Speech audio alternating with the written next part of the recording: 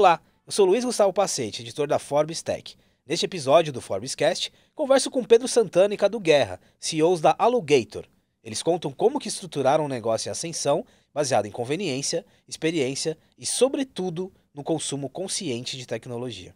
Santana, Cadu, muito obrigado, viu, pela presença aqui, pelo tempo de vocês, pra gente bater um papinho, não só para entender a carreira, a trajetória de vocês, mas também o modelo de negócios e o ecossistema em torno da Alugator. Bem-vindo, viu? Obrigado. Muito obrigado, prazer estar aqui. Cadu, conta mais pra gente, assim, um pouquinho, é, essa mescla de um, um pouco da, da tua trajetória, né, até você chegar na Alugator e aí junto com o Santana é, começarem a construir um pouquinho do que a gente vai falar aqui hoje. Cara, legal. Tanto eu quanto Santana, a gente, a nossa carreira se confunde muito com a história do Alugator, na né? nossa história profissional, porque a gente começou praticamente empreendedor de primeira viagem, né? Eu e Santana a gente é amigo de infância, então assim, a gente se conhece desde 2003 e a gente já tinha feito muita coisa junto ao longo da vida de colégio, né? De grêmio, de colégio, tudo que dava para inventar, criar, liderar no colégio, a gente estava lá. E a gente estava fazendo faculdade de direito junto, isso mais ou menos na época, ali em 2015. E a gente estava um pouco. A gente sempre foi muito inconformado, sempre foi muito questionador. Era aquele aluno que não dava um pouquinho de problema no colégio, que ficava questionando tudo, tal. E aí a gente conheceu o conceito da economia circular, né? A gente viu que tava que tinham algumas empresas, alguns movimentos globalmente que já estavam questionando um pouco o jeito de se fazer capitalismo, né? O jeito ali industrial de se fazer capitalismo, de pô, uh, produzir mais para vender mais e vender mais para produzir mais é um modelo econômico que a conta não fecha, né? Ele é meio que um castelo de cartas. E a gente gostou muito disso, falou, cara, a gente tinha que criar uma uma, uma empresa para as pessoas poderem alugar as coisas em vez de comprar né? Eu e Santana a gente sempre foi muito alucinado com liberdade, né? E a gente percebeu que no modelo industrial de consumo não existe liberdade para as pessoas, né? O brasileiro não tem liberdade de escolha, o brasileiro não tem o celular que ele quer, por exemplo, né? O brasileiro tem o celular que ele pode. Né, o iPhone 13 custa 7 mil reais, o salário médio do brasileiro é 2.300 reais. Sempre importante lembrar que e... o Jorge Paulo Lema está nessa e média. o Jorge Paulo Lema está nessa então, média. Joga para cima. Então, assim, não, não tem liberdade de escolha. Né? E aí a gente criou o Alugator lá em 2016. Em 2020 a gente criou o serviço de assinatura uh, para as pessoas poderem assinar as coisas em vez de comprar. Né? E aí elas terem acesso às coisas por meio de um serviço que é mais acessível. Né? Então, você pega, por exemplo, a gente trabalha só com o iPhone, que é um celular que uh, em todas as economias desenvolvidas do mundo é a opção da maioria da população, né? No Japão é 70% dos celulares, nos Estados Unidos é quase 60%, na Suécia é quase 60% também, enquanto no Brasil é 13%, na Índia é 8%, na Argentina, acho que na Índia ou na Argentina é 8%, e aí na, uh, na Índia na Argentina também 5%, na Bolívia 3 ou 4%, então, por cento, né, dos celulares. E, e a gente hoje, trabalhando majoritariamente com Apple, a gente tem, por exemplo, um terço da nossa base de clientes que é desbancarizado ou negativado, mas estão lá de iPhone, iPhone 11 para cima. Né? Então as pessoas, é um serviço mais acessível, as pessoas gastam menos, as pessoas já têm tudo que elas precisam para ter aquele aparelho. Então, por exemplo, você quer ter um celular, você tem proteção contra roubo e furto qualificado, você já recebe ele na sua casa com capinha, com película, com carregador. Se seu celular precisar ir para manutenção, por exemplo, a gente te manda um celular reserva. Toda a experiência que você precisa, quando você quer trocar, você só devolve seu celular para a gente, a gente manda outro para você, você troca de celular. Então é uma experiência melhor e mais acessível de se consumir. Mas foi assim que a gente chegou no, no Alugator. Santana, aqui tem um aspecto interessante, sobretudo quando a gente fala de, de conscientização. É sobre autonomia também. achei interessante quando falando. É autonomia, né? A gente sabe da realidade do Brasil né, da, da, possibilidade de ter um iPhone, por exemplo, mas é dar autonomia. Aqui a gente já vai desconstruindo um pouquinho, né? Não é só sobre o impacto ambiental, não é só sobre a sustentabilidade de uma economia. Mas aí, Santana, 2016, 2016, como que é você tirar, aqui eu acho que tem muito de propósito, né, naquilo que vocês traziam, mas transformar isso no modelo de negócio, levar para a linguagem do empreendedorismo, do investidor, algo que estava forte ali para vocês.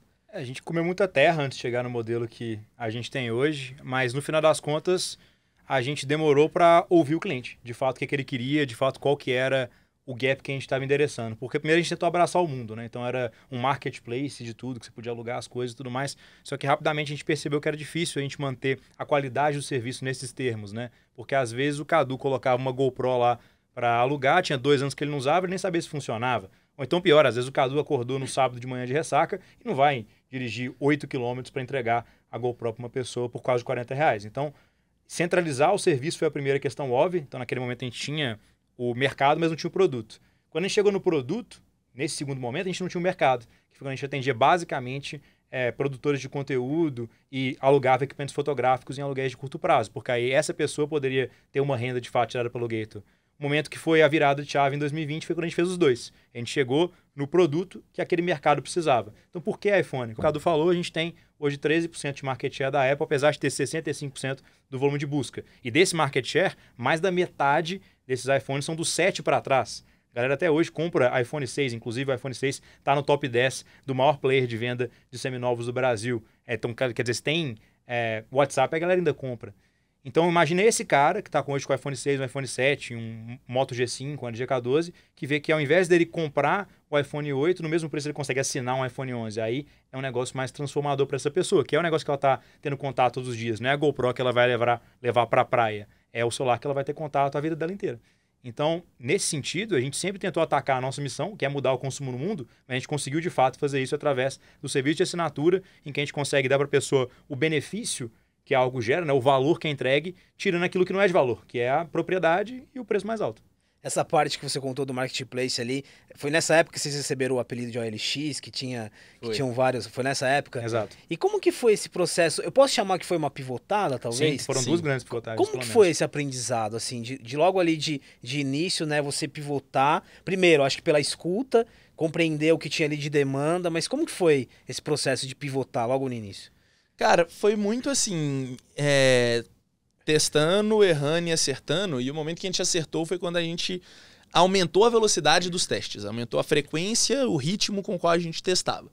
Então, a gente, desde o começo, a gente pegou, a gente construiu a primeira versão do nosso modelo de negócio e ele não funcionava. Né? Aí a gente foi aí estudando o mercado, a gente foi entender o que estava errado. Né? Então, porque, pô, por exemplo, nessa época do marketplace, a gente chegava a ter 40, 50, 60% de taxa de cancelamento, uma transação que tinha sido paga, não ser concretizada porque o usuário que era o responsável pelo produto não entregou. E aí a gente falou, pô, mas por que, que isso acontece? Né? Por que, que as pessoas desistem de entregar no dia e tudo mais? E aí a gente percebeu, é, estudando o mercado, que a gente falou, cara, na verdade, o que a gente está vendendo não é nada diferente do que os grandes varejistas vendem. Então a gente, a Amazon, o Mercado Livre, Magalu, todo mundo está vendendo a mesma coisa.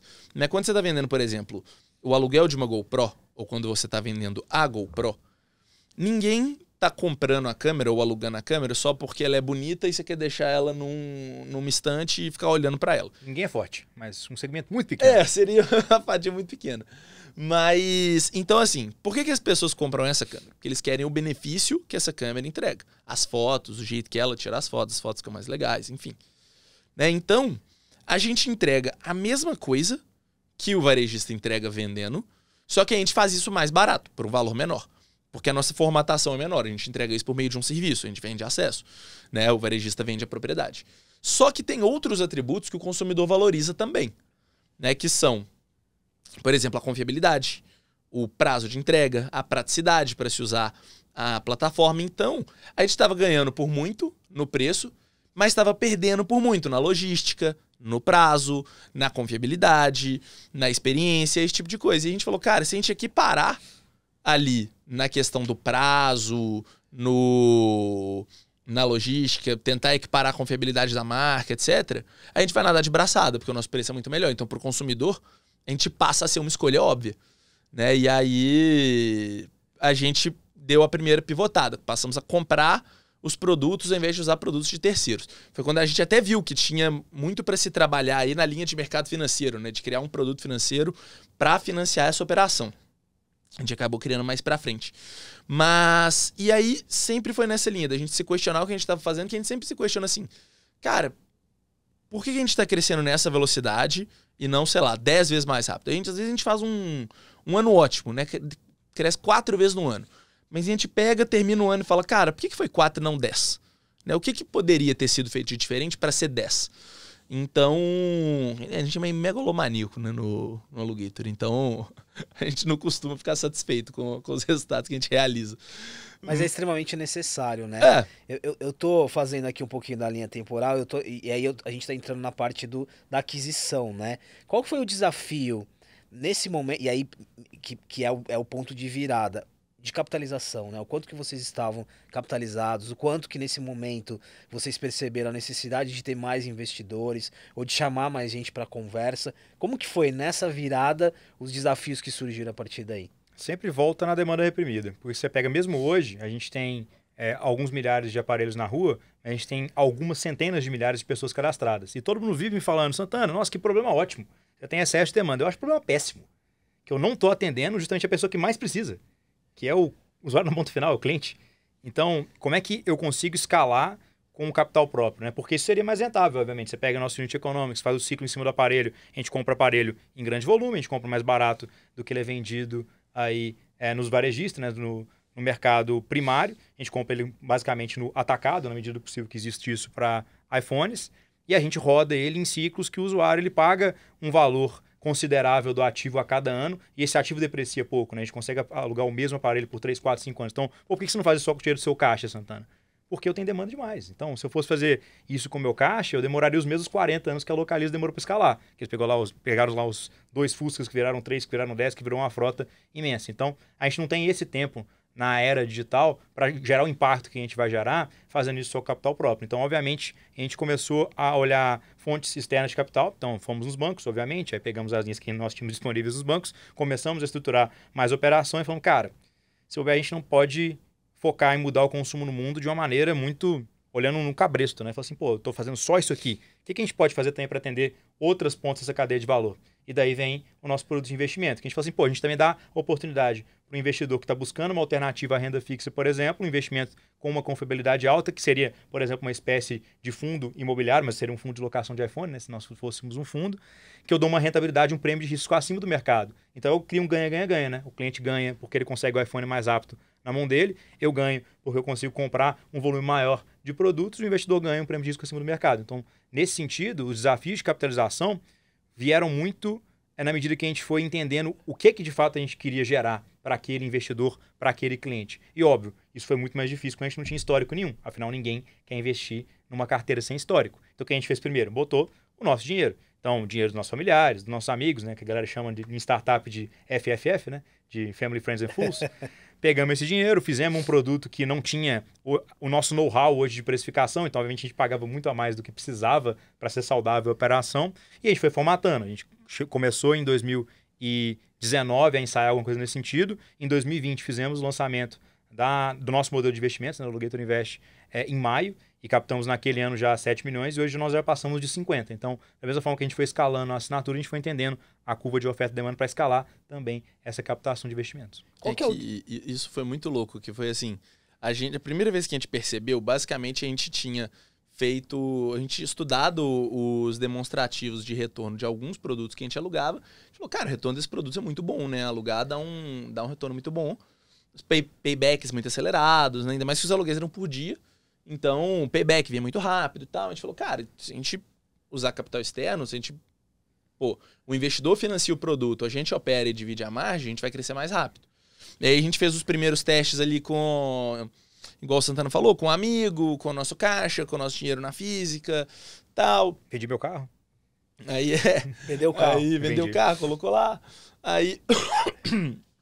aí, depois disso, a gente cessou esse braço porque a gente não tinha conseguido chegar num modelo que tivesse uma consistência ali nos resultados, já que os aluguéis eram por dia, né? Então o estoque tinha uma volatilidade que, pô, para você pegar e criar um produto financeiro, você, a gente queria ter mais certeza, né, do que do que a gente estava fazendo. Aí a gente criou um outro modelo que chamava AluShop, que era focado no pessoal da câmera, né? Que você podia deixar a sua câmera com a gente, uma câmera que você tivesse parado em casa, pra gente alugar ela e dividir a receita com você. Aí um belo dia, um cara tinha colocado uma Canon T5i, ele tinha ganhado os proventos lá, chamava royalties na época do aluguel, dos aluguéis da câmera dele. Aí falou que ia botar mais coisa e tal, conversou com a gente, não, beleza, tudo mais, pra mandar. Aí ele mandou 5 que não ter 5i. Você lembra disso? Ele mandou 5 que não ter 5i. Aí a gente, cara, esse cara não tem 5 que não ter 5i parado em casa. Aí fomos conversar com ele, ele tinha. Falou, não, pelo retorno que eu ganhei, isso aí eu pago a câmera em tanto tempo. e aí o cara mesmo, ele teve na cabeça dele a ideia de investir. E aí, quando a gente tava. É, quando a gente tava no momento da concepção da ideia da assinatura, a gente tava conversando, eu falei, pô, Santana, vamos fazer iPhone. Porque iPhone, esse produto vai estourar, iPhone tem uma demanda enorme, a gente vai fazer um iPhone muito mais barato, com a experiência toda envelopada. Cara, o consumidor vai pirar nisso aqui. Ele falou, tá, mas a gente não tem iPhone no estoque, gente, nosso estoque é todo câmera. Eu falei, não, mas se a gente pedir um prazo um pouquinho maior, tipo uns 30 dias, e levantar o dinheiro na, numa ponta a gente monta uma plataforma de investimento, a ponta fintech, levanta o dinheiro para colocar os iPhones, os iPhones vão ser a garantia e a gente divide a margem com o investidor. Santana falou, uai, você acha que comprar de 30 dias vende? Eu falei, não, tenho certeza que vende, vai estourar de vender. Tanto o produto de investimento quanto a assinatura. E aí lançamos assinatura em janeiro de 20 e o Invest em maio de 20. O, o elemento pandemia, até bem, bem, assim, um pouquinho um pouquinho antes de começar a pandemia, influenciou muito, assim, o que, que foi essa experiência de janeiro para março ali, quando o mundo virou de ponta cabeça, o que, que mudou um pouquinho na dinâmica? Cara, como nós nunca tivemos capital a rodo, a gente nunca foi aquelas daquelas empresas que captaram milhões de dólares só no PowerPoint, então a gente já tinha alguma experiência de ser a startup camada, digamos guerra, assim, né? É. Então eu, sempre uso uma, uma analogia que imagina o seguinte: você está na Primeira Guerra Mundial, desculpa a tangente aí, pessoal, mas eu juro que vai fazer sentido. Você está na Primeira Guerra Mundial, você tem lá o tenente. O tenente ele é dentro da trincheira encarregado para ver se você pode dar o próximo passo, os próximos 15 passos para fazer a nova trincheira, né? Então ele vai lá, dá uma olhadinha assim e fala assim: oh, galera, pode ir lá. E aí aconteceu com o Alugator, né? O Alugator estava lá, bonitão, personificado como tenente. Aí o Alugator direto, ele botava a gás para fora, tum, tomava para dentro assim. Aí olhava a galera pra trincheira e falava assim: quem que é o próximo da patente aí? Aí o Santana levantando, ah, sou eu. Aí eu pegava lá o pet no meu tenente, pregava em mim. Então, como a gente veio já de muita imprevisibilidade, já de muita incerteza, fazendo um fluxo de caixa com gestão muito ativa, porque a gente tinha necessidade, a pandemia não nos afetou tanto. Na verdade, a pandemia, eu acho que ela só nos desacelerou na ponta dos investimentos, porque a galera ainda tinha muito medo ali no início de março, no início de abril, que foi logo antes do lançamento do produto. E mesmo assim, a gente teve um lançamento muito bom, que a gente na primeira captação já captou mais de um milhão de reais. É que parece muito dinheiro, mas são 150 iPhones. Enfim, acontece. Mas isso permitiu que a gente desse os primeiros passos. Então, acho que a pandemia, ela atuou de duas formas. Primeiro, ela deu para a gente a possibilidade de amadurecer muito, que a gente mudou todos os nossos processos para conseguir adequar o home office, a gente não tinha ninguém remoto. Hoje, uma boa parte do nosso time é, é remoto, que é um ganho enorme, né? Ao invés de focar em contratar só pessoas na grande BH, você pode contratar um cara que mora nos Estados Unidos, mora em Londres, etc. Então, isso ajuda muito. E a gente ganhou muita maturidade e profissionalismo nos anos de 2020 e 2021. Agora, deixa eu aproveitar, ainda, ainda com você, Santana. O Santana, ele, ele, ele pôs à disposição aqui todo o repertório histórico que ele tem, né? É, até pelo passado como produtor de conteúdo. Depois pesquisem no Google, é melhor, né? Se como... você começar a falar do Churchill aqui, vai ser o episódio mais longo da história do Popscast. Como pro... Mas ele, ele quer gastar um pouquinho desse repertório, mas como produtor de conteúdo. Mas aqui eu conecto com outro aspecto muito interessante da história de vocês. Ali no início, quando você estava dando uma das primeiras respostas, você falou um pouquinho sobre os influenciadores, os criadores de conteúdo, né? Hum. Até porque você, você também foi um, um criador de conteúdo. É, a gente não né? alugava câmera à toa. Que, e, exatamente, nasce um pouco disso. Mas o que, que esse ecossistema ensinou para vocês? Assim, o que, que ele trouxe? Porque ainda hoje a gente discute muito, a gente vive uma nova fase, né? De criadores que precisam ali de um equipamento, que precisam de um, de um, de um aporte, né? Mas o que, que esse mundo ensinou para vocês?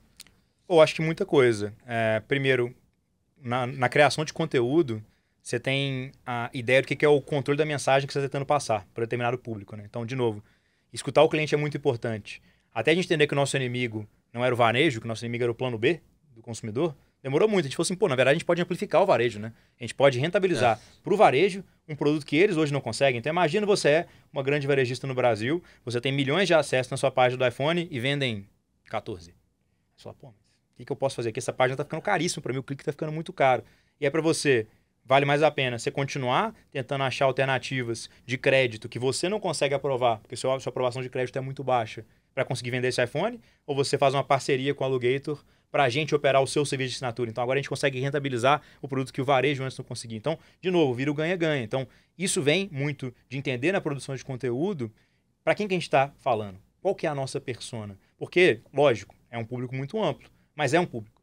Então, pô, hoje tem 70% da nossa base que eu falo que é a galera de acesso mesmo, que hoje está com iPhone 6, iPhone 7 e vê a oportunidade de assinar o iPhone 11. E também tem a galera que eu falo que ao invés de comprar no Queens, está alugando em Manhattan. Que é a galera que já é, comprava em um iPhone 12, um Samsung S20 e está indo para o Super Premium, está indo para o 13 Pro Max. E isso entra muito no próprio produtor de conteúdo, né? Porque quando o cara está vivendo disso, chega lá a Vanessa, criadora de maquiagem, está querendo profissionalizar o conteúdo no Instagram, ou o Jefferson, que é skatista e está querendo fazer a, a montagem dos melhores momentos dele nas manobras que ele faz lá no parque, para esse cara faz muita diferença ter um iPhone que tem uma qualidade quase profissional de câmera. É interessante, já vou pegar o gancho aqui, Cadu, mas é interessante como a gente está falando de uma, como que a evolução da cultura digital tem uma relação direta com o crescimento de vocês. Porque a gente Sim. falou aqui de criação de conteúdo, mas olha o tanto de empreendedores e empreendedoras que dependem de uma rede social, que dependem de uma boa qualidade de vídeo, por exemplo, para vender o produto, né? Perfeito. É um aspecto muito legal isso, assim, a evolução.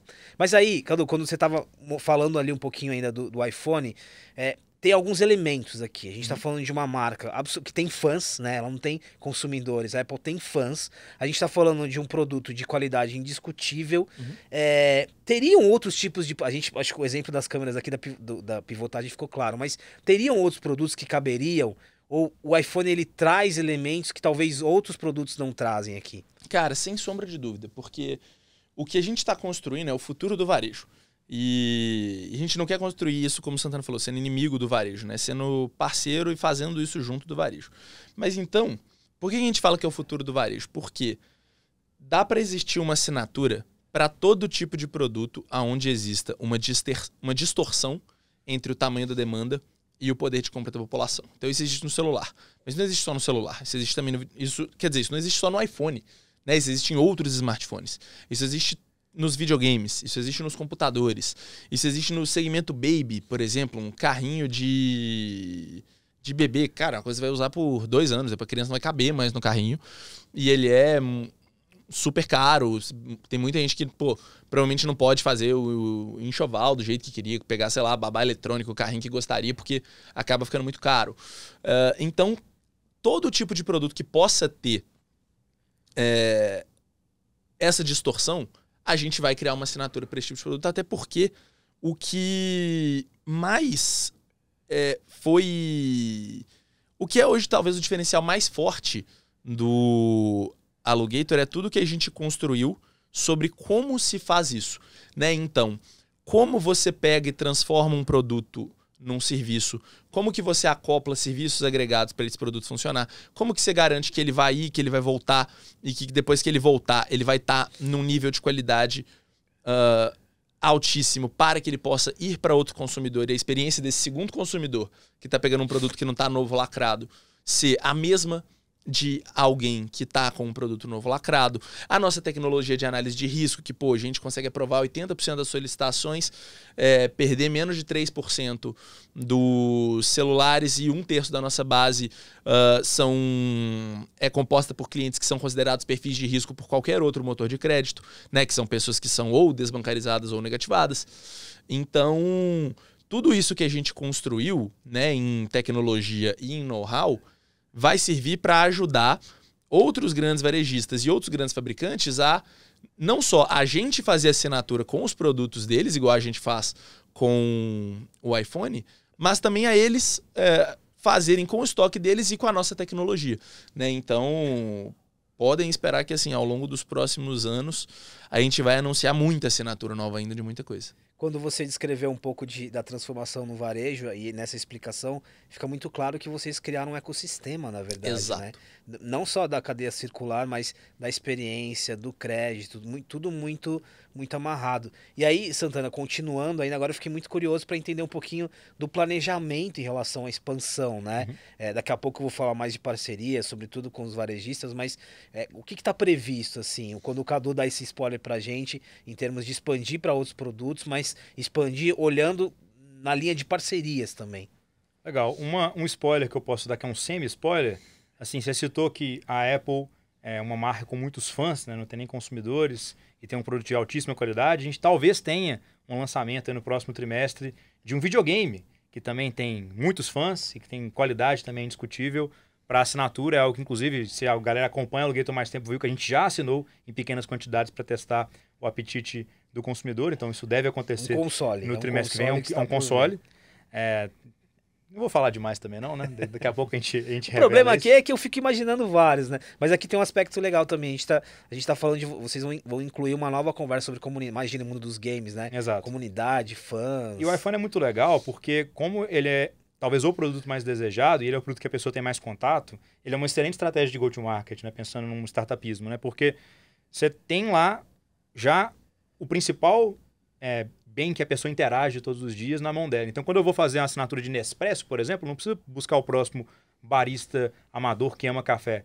Esse cara já está na minha base. Quando eu vou na linha Baby, eu não preciso buscar um pai e uma mãe de primeira viagem. Eles já estão com o iPhone na mão. Então, construir essa base de clientes e esse ecossistema é importantíssimo justamente para entender também quais são os produtos que a gente vai inserir logo mais. É, é, muito interessante também pensar que a galera fala assim, pô, mas como é que vocês sabem que vai dar certo? Não, se o Cadu gosta, dá certo. Porque o Cadu, ele é o consumidor padrão. O sonho dele é a Ferrari vermelha. Eu sou bem comercial. Ele sempre gostou de Apple, então ele é super comercial. Então o Cadu vai estar na mente do consumidor padrão, a gente vai validar isso com os milhares de clientes da nossa base e a gente expande a partir daí. Claro, a gente tem muitas outras facetas que a gente vai explorar. Não é só sobre a assinatura, né? A assinatura é uma ponta muito tangível. Mas é difícil fazer uma conversa sobre futuro de Alugator que não entre em algo próximo ao ecossistema de um banco, né? Por que, que Alugator não pode ter um cartão? Por que, que Alugator não pode ter uma conta digital? Até cripto dá para esperar aqui? Dá para esperar cripto. Porque, pô, aí, pensa no seguinte, o cara faz uma compra no cartão de crédito e esse valor, em vez de ser cashback ou investback, ele volta direto para o consumidor poder usar na assinatura dele,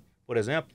A gente pode ter um mecanismo de financiamento direto da nossa base. Pô, a gente fez uma, uma tecnologia de análise de risco tão boa, que a gente pode aproveitar isso também para dar crédito diretamente para pessoas e empresas? Então, tem várias coisas que a gente pode explorar dentro desse sentido, mas óbvio, da mesma forma que a Amazon fez um IPO sendo a maior livraria do mundo depois ela virou a loja de tudo, eu imagino que nosso caminho não seja muito distante disso de ser o maior portal de assinatura do mundo antes de fazer uma expansão mais significativo para os outros áreas que eu citei. Isso responde muito àquela pergunta se o modelo é escalável, né? Porque a gente está falando é. de um ecossistema, a gente não está falando especificamente é, é, da assinatura ali de um produto específico. Deixa eu te colocar numa saia justa, Cadu, já que Diga. você é o consumidor padrão.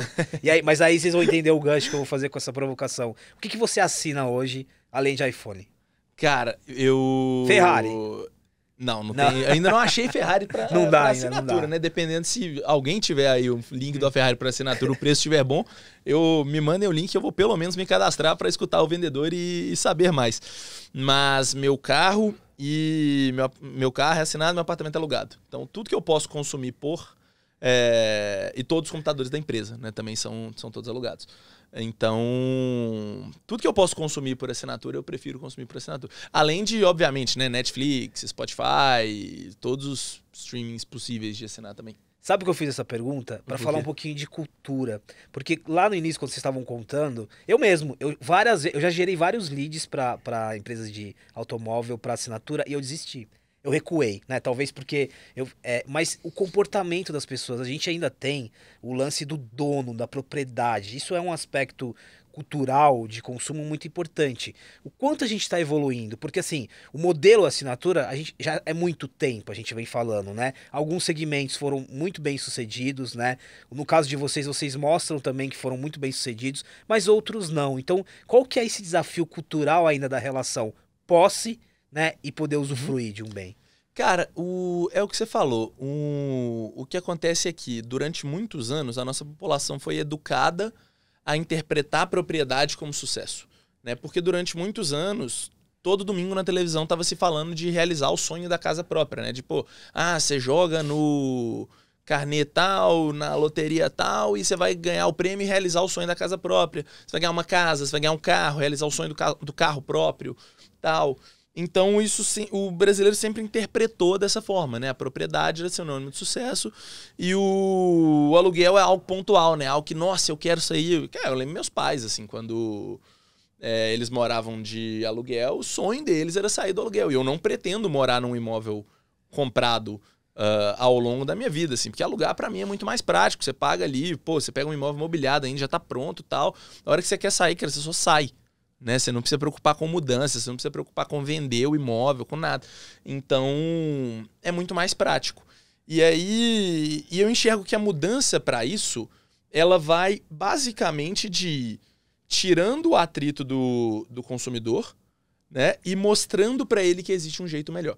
Então você pega, por exemplo, quando a Uber entrou no Brasil, a Uber não chegou e quis propor uma uma mudança extremamente disruptiva ao que era hábito, né? Então, você tinha ali o hábito de chamar um táxi, eles só trocaram e falaram, cara, em vez de chamar o táxi, chama esse carro aqui nesse aplicativo. É, se você parar pra pensar, em, em Brasil, a transformação foi ainda mais macia, digamos, para o consumidor, né? Que ela começa com a 99 com a Easy Taxi, que, cara, é, ó, em vez de você pedir um táxi pelo telefone, pede pelo aplicativo. E depois, cara, em vez de pedir o táxi, pede esse carro aqui que nós temos aqui com esse motorista parceiro. Então, é uma troca sutil, só que aí, quando o consumidor vai lá e experimenta, me chega um cara num carro de luxo, de terno, com ar-condicionado, com água gelada e a corrida fica mais barata. Aí você pensa, pô, caramba, não, não volta atrás, né? Então, o nosso, o grande ponto que eu vejo é esse, assim, que você pega assim, esse roadmap nosso até, esse ecossistema, né? A gente gosta de dividir em quatro fases, que é iPhone para todos, que é essa primeira etapa que a gente está vendo agora, que assim, o marco dela é criar a melhor experiência de consumo de iPhone do mundo. Aí a gente vem para multiportfólio, então, igual iPhone, pô, videogame, computador, tablet, vários outros produtos. Aí o ecossistema, como você falou, que é fazer não só com os nossos ativos, com o nosso estoque, mas com ativos e estoques de outros parceiros, usando oferecendo outras soluções para o consumidor e aí fechando o ecossistema completo, e aí o mudando o consumo no mundo, que é o último ponto que seria o cumprimento da nossa missão, né? Que é pegar esse ecossistema que a gente vai fazer aqui em Latam e plugar ele em outros lugares do mundo, começando pelas economias emergentes, que são as que precisam mais da gente. Né? A dor é mais latente nas economias emergentes. Mas então, você pega hoje, por exemplo, uma experiência de consumo de iPhone. Cara, consumidor ele vem no, no ele está acostumado ao quê? Aí no site do varejista, aí ele olha lá um iPhone 13 Pro Max, putz, 15 mil reais. É, deixa para próxima, né? Não vai ser dessa vez, tal. Aí ele se contenta com o plano B. Aí ele compra o celular, recebe o celular, aí chega o celular na casa dele, ele lembra que agora ele tem que comprar uma capinha, ele tem que comprar um carregador, ele tem que comprar uma película, ele sai de casa torcendo, rezando para ele não deixar o celular cair, porque se cair antes de botar a película, vai Olha perder as variáveis que você vai adicionando num... Aí, beleza. Aí ele pega, é, ele, se esse celular precisa de uma manutenção, ele não sabe onde ele leva, porque ele não faz ideia de como você avalia uma empresa de manutenção para saber qual que é boa qual que é ruim. Acaba levando numa autorizada, que via de regra é mais caro, gasta um caminhão de dinheiro para consertar o celular. Quando vai trocar de celular, ou vai passar um calvário para vender o celular ou vai deixar naquela gavetinha ali de cemitério do celular que é muito comum o pessoal ter uma em casa, né? Aí você compara isso com a experiência que ele está assinando. Ele pega, escolhe o celular que ele sempre quis ter, paga um terço do preço, por exemplo, um 13 Pro Max de 15 mil reais, no aluguel ele vai ser quatro e pouco por ano, né? Então, ele vai pagar um terço do preço, chega o celular na casa dele, a caixinha com o celular lacrado, capinha, película, carregador, já com a cobertura contra furto, contra roubo qualificado e até uma balinha vai lá para ele já comer um docinho ali, ficar feliz, tal, os mimozinhos que a gente manda. Se der qualquer problema no celular, precisar de uma manutenção, a gente vai mandar um celular reserva para ele, ele manda o celular para a gente, o celular volta para ele consertado. Quando ele quiser trocar de celular, só manda o celular para a gente, devolve. Quer dizer, é, a mesma, é o mesmo nível de comparação. Né? Você está gastando menos, pegando uma experiência melhor, e aí você percebe, cara, isso é muito melhor. Então é assim que você educa, né? Não é pegando e fazendo a cruzada de ah, esse jeito de consumir tá errado, porque assim você não vai conhecer o consumidor, né? E é inter... Só um é ponto adicional dentro disso que você falou nessa questão de cultura. É, é legal também olhar no histórico do Brasil, que você fala assim, pô, por que a galera tem tanto sonho da casa própria, né? Porque o Brasil, a gente está mais do que acostumado a conviver com inflação, por exemplo. Então, pô, meu bem durável, é o que ganha da inflação é imóvel. Sempre que for investir algo, invista em terras. Nunca vi ninguém perdendo dinheiro em terras. É só a galera que teve a terra expropriada em qualquer país que deu qualquer problema, né? Mas, fora isso, a galera tem esse, isso como mecanismo de defesa. Então, como é que se ataca isso primeiro? Onde dói mais. Então, por que, que eu acho que algumas assinaturas deram errado? Porque era o que a gente chama no, no linguajar de startupeiro de um produto nice to have, igual era a nossa GoPro. Pô, é, é legal você ir pra, pra praia e ter uma GoPro, que você paga muito menos, você paga lá é, 150 reais ao invés de comprar uma GoPro de 3 mil, é legal. Mas é indispensável? Não é. Agora, você consegue ficar sem celular hoje? Você consegue viver sem celular? Talvez só o Ed Sheeran que eu conheço que vive sem celular no mundo. O Ed Sheeran e o Casey Neistat lá do YouTube. De resto, o, o afegão médio, como a gente gosta de dizer, esse cara precisa do celular. Então, o que o Cadu sempre fala, que é uma frase que eu gosto muito, mudar o consumo no mundo não é entregar iPhone mais barato em Nova York. É entregar o primeiro iPhone que o cara nunca teve em Nova Delhi. Isso muda o paradigma da pessoa. E aí ela acaba entrando no ecossistema, botando esse pezinho na água no iPhone. Daqui a pouco ela vê, ela tá assinando o carro, ela tá assinando a casa, ela assinou a televisão da sala. Ela falou assim, pô, eu nunca pensei que pudesse assinar a linha branca, por exemplo. E o cara tá lá, pô, vou trocar de geladeira assim, mas por que não? Qual outro segmento que, que vocês até usaram como referência, assim, do, de, de que deu certo, de que funcionou muito? Eu acho que quando você mencionou ali a, a Nespresso, por exemplo, imagina, né? É, hoje, é, é, é para muitas pessoas, é, é indispensável. E é um clube em torno, né? É muito uhum. interessante. Mas quais outros mercados que vocês olhavam e falavam, pô, esse, quando a gente fala de assinatura, funcionou muito bem? Pô, eu gosto de fazer o comparativo com o maior aluguei todo mundo, que a gente gosta de falar, é. Né? que, é a, que é a Grover. A Grover é uma empresa lá da Alemanha. Eles começaram de uma maneira até bem intuitiva, que eles começaram com a assinatura sendo quase uma compra facilitada. Por quê? Porque na Europa não tem parcelamento. A startup que mais vale dinheiro hoje na Europa nada mais é do que um crediário de três vezes. Porque o europeu não está acostumado com essa cultura de parcelamento. O brasileiro precisava disso, né? Eu adoro, inclusive, quando a gente vai conversar com o investidor de fora, explicar como é que funciona consórcio. Assim, não, então você tem as pessoas, aí elas se juntam, aí elas têm o dinheiro para comprar um bem, mas aí você tem que ter sorte, né? Porque é um sorteio todo mês para ver quem vai ganhar. O cara fica tipo, que? Você tá falando sério? Eu falo, não, sério, não. Funciona para várias coisas. Então, quais segmentos, por exemplo, a Grover já atacou? Pô, segmento de mobilidade, segmento, pô, o, o bem que dava mais rentabilidade para a Grover até pouco tempo atrás era a linha de televisões que é um bem que a galera gosta de ter acesso ao negócio super high-end, ou então gosta de ter várias televisões na casa, mas talvez seja proibitivo, e é um bem que não dá default, né, galera? Não, é raro você tem um, um, assalto que a pessoa entra Estragar na sua casa, TV. rouba a sua TV, é raro você quebrar a sua TV, a não ser que esteja assistindo o jogo do seu time do coração e por algum motivo jogue alguma coisa na TV. Mas, fora isso, é uma possibilidade de consumo interessante. E pensa, por exemplo, você está lá em Belo Horizonte. Belo Horizonte, o pessoal está cansado de saber que todas as estradas em rumo a São Paulo, né? Para muitas profissões, as oportunidades estão aqui. Então a pessoa vem para São Paulo para uma nova profissão, ela não sabe se ela vai ficar aqui um ano, dois anos, três anos. Faz sentido realmente ela comprar um apartamento, depois comprar toda a linha branca, comprar a televisão, console, Nespresso e tudo mais que ela vai precisar no dia a dia? Ou faria sentido se ela pudesse assinar esses bens, por exemplo? É, aqui é interessante também. Olha, a gente, quanto que a gente não está falando sobre a mudança da forma de trabalho, né? Nômades, os, os nômades digitais, é. tantas pessoas que fizeram esse fluxo Olha como que se dá a importância do, do da assinatura aqui. Até porque uma coisa que eu sempre que eu sempre falo que eu gosto muito, que a gente, por exemplo, a gente também, além da Grover, né? A Grover é uma inspiração muito óbvia porque é, eles fazem a mesma coisa que a gente, né? Só que em outro, em outro continente, então isso naturalmente gera ali algumas mudanças que, pô, por exemplo, uh, risco é algo muito chave pra gente, para eles não é tanto, né? Por aí vai, mas, uh, por exemplo, a gente sempre gostou muito de acompanhar de perto as assinaturas de carro aqui. E aí, uma coisa que eu falo que eu gosto muito no modelo da economia circular, é, e aí no que a gente faz aqui, é que você coloca a empresa no centro para cuidar de tudo que tem que ser cuidado e que o consumidor não quer, nem sabe, nem deveria ter que cuidar. Então, por exemplo, cara, manutenção do celular. Se o seu celular precisa de manutenção, por que, que é você que tem que ser responsável por cuidar dessa manutenção? Vender celular para depois trocar por que, que é você, nunca vendeu um celular na vida, mas por que, que é você que tem que assumir o trabalho de pegar e sair por aí vendendo seu celular, anunciando em OLX, em Instagram e tal. Então, por que, que você não coloca uma empresa que faz isso milhares de vezes diariamente, que tem vários profissionais treinados, capacitados, bem remunerados só para fazer isso, né? E dá para o consumidor só as funções de contratar o serviço e aproveitar né?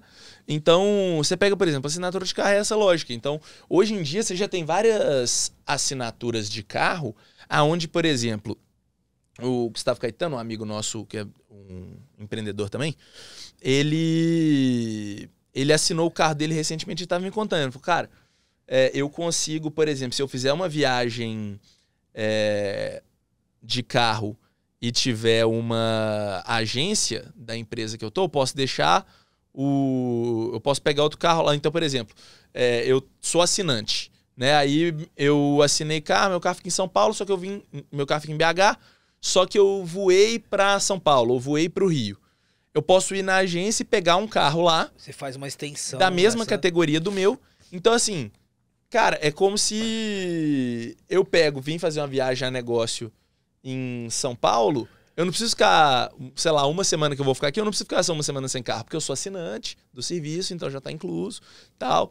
Então, o... E aí você vai se adaptando né, a essa lógica de que tanto tudo mudando rápido, quanto também o consumidor querendo cada vez mais praticidade, né? É, tem uma questão de inteligência aqui, né, nessa gestão também, faz muito sentido, né?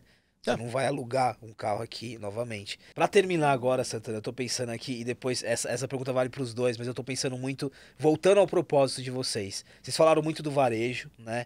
E a gente, a gente ainda sabe que o, o varejo é uma máquina de vendas, né? O, o drive do varejo é o consumo, é o item novo, né? Imagina uma Black Friday, Natal. Como lidar com isso? A gente está falando aqui de a gente entendeu que é mudança de comportamento de consumo, mudança de cultura, e vocês estão olhando para o varejo também como parceria, né? Como lidar com isso e o que, que vocês estão sentindo no varejo em relação a também mudar um pouquinho dessa chavinha? É, inclusive tem uma grande varejista que o CNPJ dela é máquina de vendas, né? Então os caras Exatamente. têm isso arraigado de fato.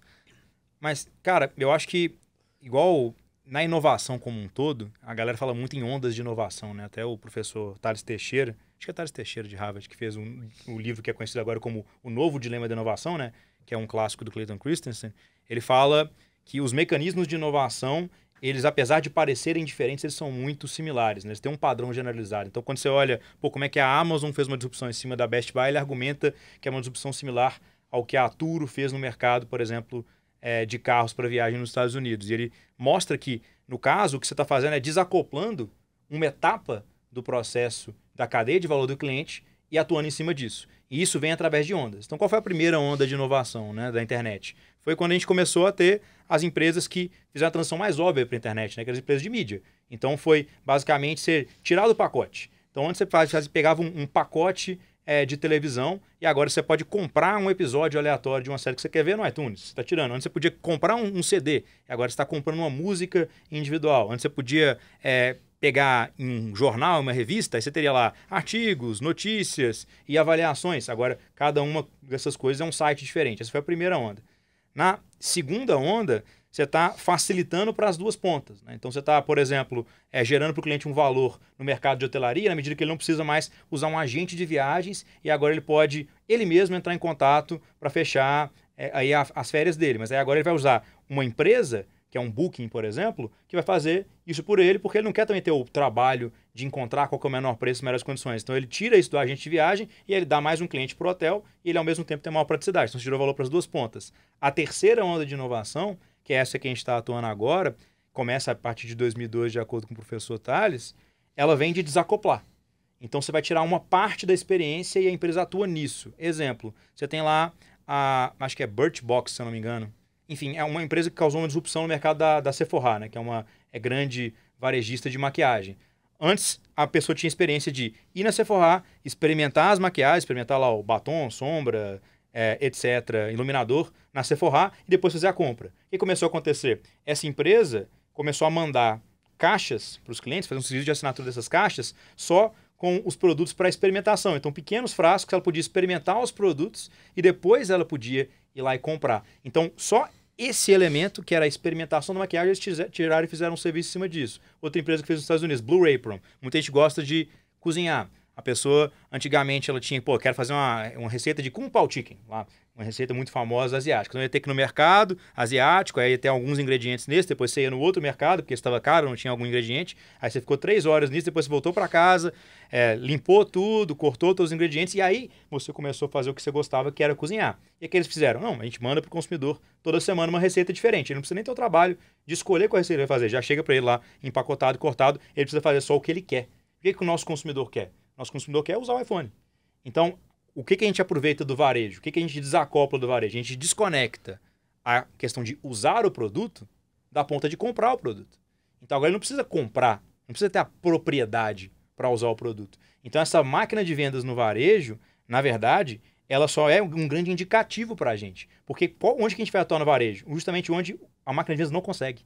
Que é aqui no Brasil, onde a galera não consegue comprar. Porque senão já teriam comprado. Muita gente pergunta, oh, pô, é, mas faz sentido esse iPhone se eu vou assinar um seguro, se eu vou trazer dos Estados Unidos, eu vou vender depois? Fala, cara, talvez nesse cenário específico que está levantando, como ainda é muito mais barato trazer lá de fora do Brasil, talvez nesse caso faça sentido. Mas quantas pessoas viajam para fora do Brasil e têm a capacidade financeira para trazer um iPhone? Aqui, pô, a gente pega a segmentação é, de renda do brasileiro, acima de 5 mil reais por mês é alta renda.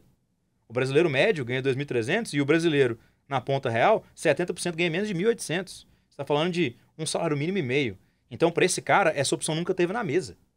Então, para ele, essa máquina de vendas não é possível. Só que o Alugator faz com que agora essa máquina de vendas não precise ser mais a opção que o cara vai pagar em 48 vezes no, no carnê. Que agora ele pode ter uma experiência mais completa, como o Cadu pontuou muito bem, dentro de um ecossistema que vai permitir que ele consuma outras coisas de uma maneira mais inteligente, de uma maneira mais personalizada que a personalização é muito importante, né? Muitos serviços fazem essa curadoria. Pô, o Netflix não te gera valor, porque toda vez que você abre o Netflix, ele já lá e dá play num, num filme instantaneamente, né? É uma experiência conectada, mas é uma curadoria. Te dá, ah, pô, então aqui cinco filmes talvez você possa gostar. Pô, quem disse que eventualmente é custante de assinatura não pode ser, pô, então aqui três produtos que se encaixam no seu perfil de consumo. Vê que você já tem a Nespresso, já tentou usar essa máquina de café que também faz a tritura em tempo real, ele moe o café para você para você ter uma experiência ainda mais próxima do expresso italiano. Então as pessoas não têm acesso a isso. Isso não precisa ser algo completamente antagônico a essa máquina de vendas. Agora, o que a máquina de vendas não atinge é o que a gente, que a gente consegue atingir agora. Isso é muito importante. Curadoria, experiência, que eu acho que ficou muito claro aqui, e demanda, sobretudo. Né? O exemplo que você dá é de ter um olhar muito específico para a demanda. Né?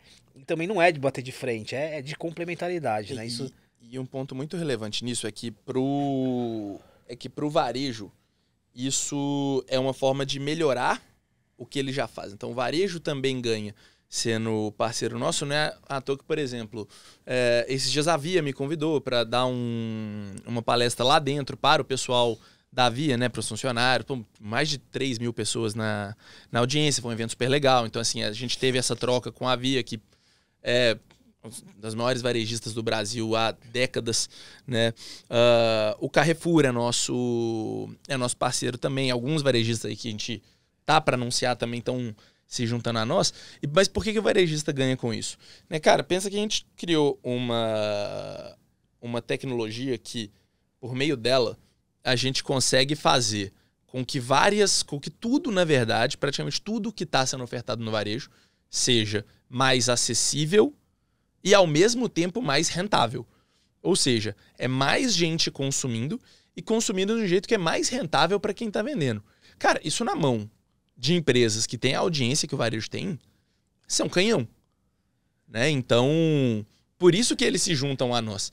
Né? Porque, cara, você está pegando o que ele faz e fazendo com que aquilo seja melhor para quem está comprando e melhor para quem está vendendo.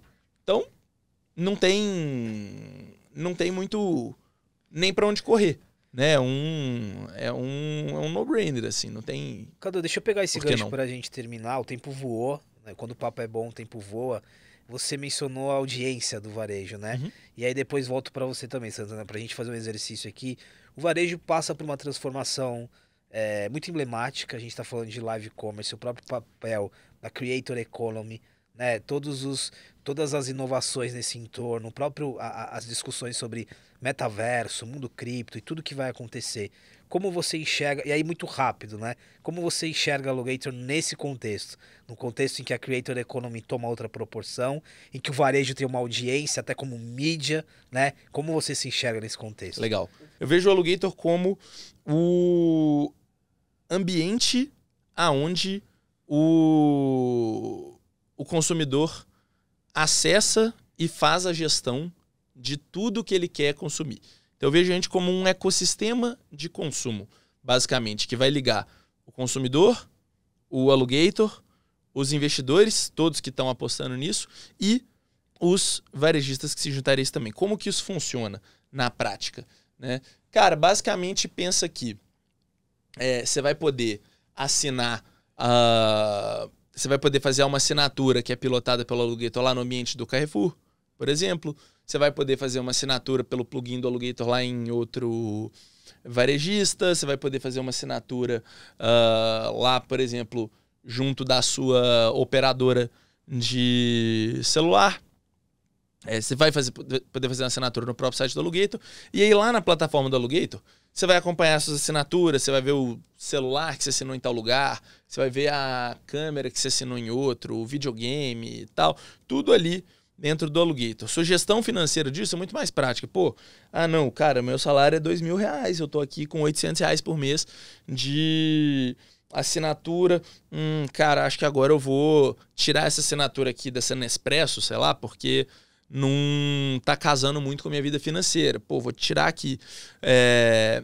Aí, esse mesmo consumidor, toda vez que ele indica alguém e essa pessoa o, se torna um assinante também, ele ganha um, um por exemplo, um mês uh, de abatimento na assinatura dele. Então, ele vai trazendo mais gente, a assinatura dele vai ficando mais barata.